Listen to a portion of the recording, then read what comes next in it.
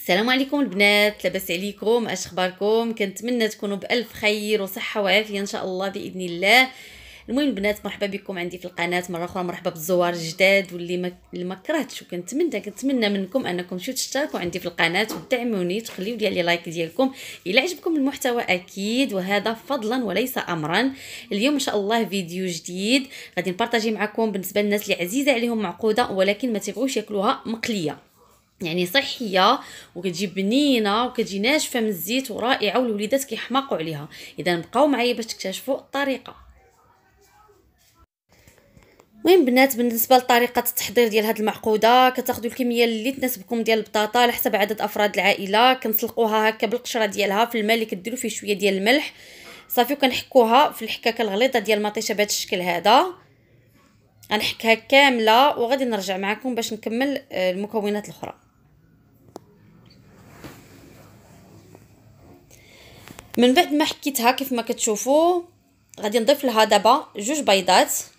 ولا درتو كمية قل من هاد الكمية آه غادي ديروا غير بيضة وحدة. أنا تقريبا آه، كيلو تقريبا يعني باقا خاصها واحد الحبة.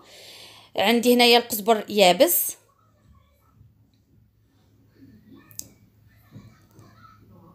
وغادي نضيف لي بزار.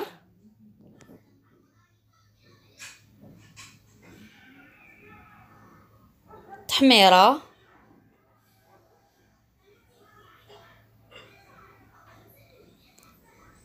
الكمون المقادير البنات عيني ميزاني. صراحة دائما عيني ميزاني راكم عارفين الناس اللي متبعيني في القناة. غنضيف الثومه بودرة اللي تقدروا تعوضوها بواحد جوج فصوص حتى ثلاثة ديال الثومه عادية. أنا كنعكس صراحة كنلقى هذه موجودة. كندير هذه تقدروا تعوضوها على حسب نتوما شحال كتبغيو يعني الثومه واش كتبغيوها باينة ولا ما بايناش.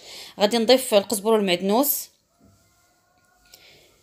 صافي غادي نخلط العناصر ديالي. بالنسبة للثومه البنات آه، بحال دابا حنايا في شهر رمضان الكريم يعني بإمكانكم آه، ديروا غير الثومه بودرة ما تجيش مجهدة ما تجيش باينة.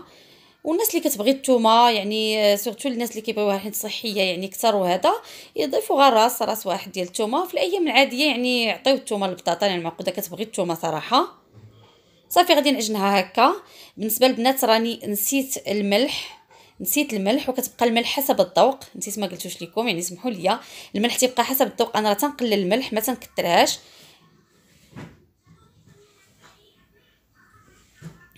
ومن بعد ما عجنتها واحد شوية يعني كيف ما تشوفوا انسجمات العناصر غنضيف زيت الزيتون. اللي تقدروا تضيفوا أكثر من هذه الكمية.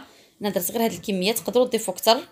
إلا بغيتوها تجيكم ميدمه من الداخل بالنسبة للبطاطا ديالي خليتها غير واحد 10 دقائق يعني أنا ازربان راكم عارفين خصنا نوجدها للفطور. صافي غادي نبدا نكورها على هذا الشكل كنستعمل بشوية ديال زيت الزيتون. كندهن بها يديا باش ما تبقاش تلصق لأن كتبقى تلصق لك في اليدين. بإمكانك تخليها تشرب أكثر من هكا. صافي أنا الفران راني مسخناه غادي ندخلها طيب ما تتاخذش صراحة الوقت دغيا تطيب المهم في la tôle راني مغلفاها بال papier cuisson بورق الطهي صراحة كينفع ما تيخليش اللاطه تكرفص. surtout في هاد المعقودة هذه من الأفضل أنكم ديروه.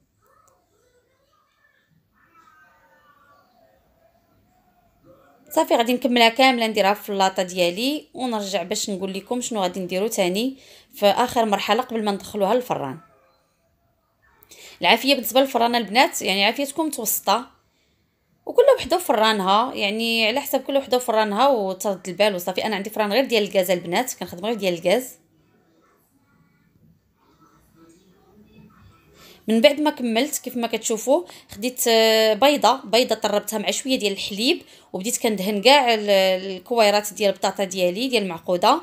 تندهنهم كيف ما قلت لكم الحليب مع آه، بيضة.